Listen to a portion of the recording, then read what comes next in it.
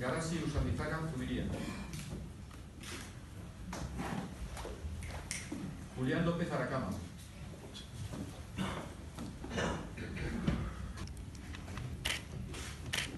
Bai, hitz egiten dut. Sí, prometo.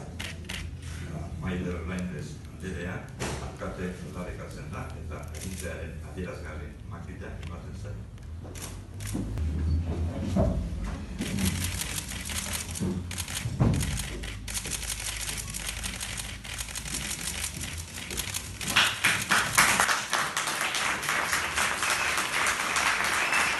azken bi egunetan asko izan zarete haserre, triste eta ezin ulertuta etorri zareten herritarrak. Haserre hori eta tristura hori indar bilakatzeko eskatu diguzue.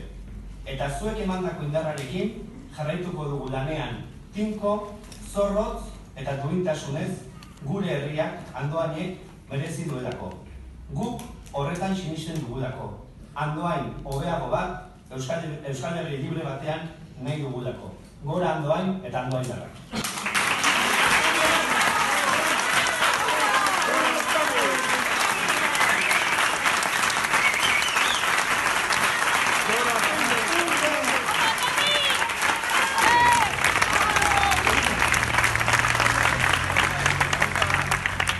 Horien, legeak ala behartuta esan dut, hitz ematen naizela,